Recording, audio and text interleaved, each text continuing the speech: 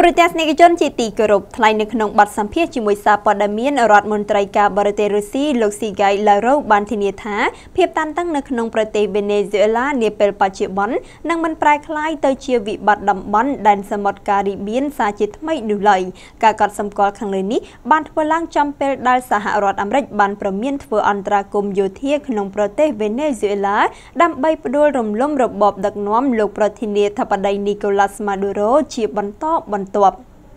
រដ្ឋមន្ត្រីការបរទេសរុស្ស៊ីលោកស៊ីហ្គៃឡារ៉ូបានធានាថាភាពតានតឹងនៅក្នុងប្រទេសវេណេស៊ុយអេឡានាពេលបច្ចុប្បន្ននឹងមិនប្រែក្លាយទៅជាវិបត្តិតំបន់ដែនសមុទ្រការីបៀនសារជាថ្មីឬក៏អាចធ្វើឲ្យប្រជាជាតិអាមេរិកឡាទីនមួយនេះក្លាយទៅជាប្រទេសសេរីទី2នោះឡើយនេះបើតាមការចេញផ្សាយដោយសារព័ត៌មាន RT នៅព្រឹកថ្ងៃប្រហ័សទី4ខែមេសាឆ្នាំ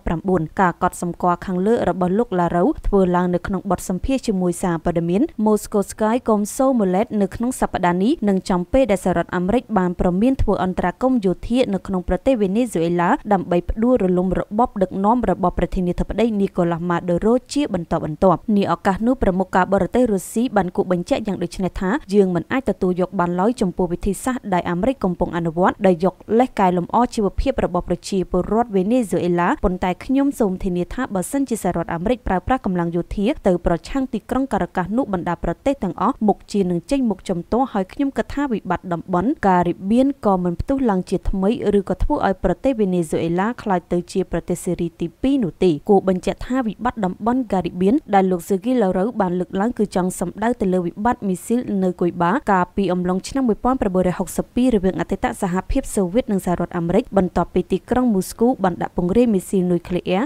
នៅលើទឹកដីគុយបាជាការឆ្លើយទៅនឹងការដាក់ពង្រាយមីស៊ីលនៅអ៊ីតាលី និងទូគីពីសំណាក់ទីក្រុងវ៉ាស៊ីនតោន